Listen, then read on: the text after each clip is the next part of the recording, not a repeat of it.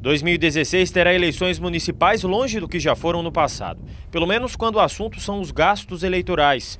Época de vacas magras para os partidos políticos, que desde o ano passado estão sujeitos a novas regras. Uma delas diz respeito à prestação de contas das campanhas. Essa eleição agora está bem mais rígida com relação a essa questão da prestação de contas, sobretudo no que tange a sua arrecadação, quando se vê que os candidatos não podem mais arrecadar de pessoas jurídicas, ou seja, de empresas, aqueles recursos que antigamente chegavam de maneira muito fácil às suas campanhas.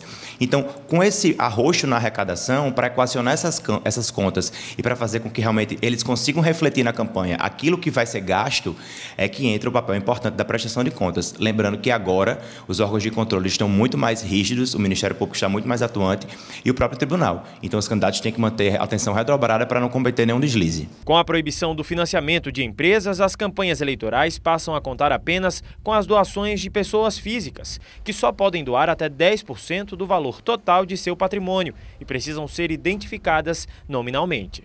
Outra novidade no processo eleitoral deste ano é que a prestação de contas deve ser acompanhada por um advogado, contratado para observar possíveis inconsistências jurídicas, e de um contador, que só será dispensado nos casos em que a movimentação financeira das campanhas não ultrapasse os 20 mil reais. A dispensa do profissional de contabilidade, de contabilidade pode causar prejuízo na prestação de contas, considerando que as prestações de contas não são tão simples, elas são por, por vezes complexas.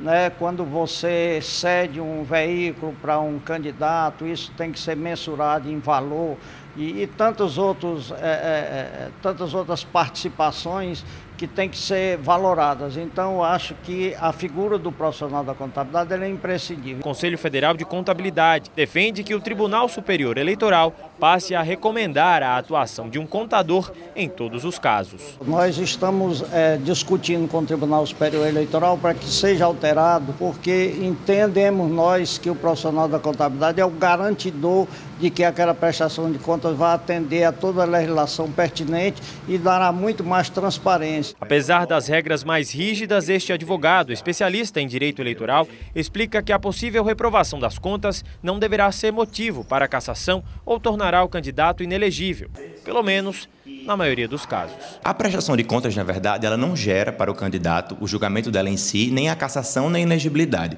Mas, por sua vez, se forem detectados no seu bojo abusos flagrantes, isso pode desembocar em outras ações, que são as ações de investigação judicial eleitoral ou as ações de impugnação do mandato eletivo, que aí sim podem caçar ou podem punir o candidato com inelegibilidade, acaso elas sejam comprovadas.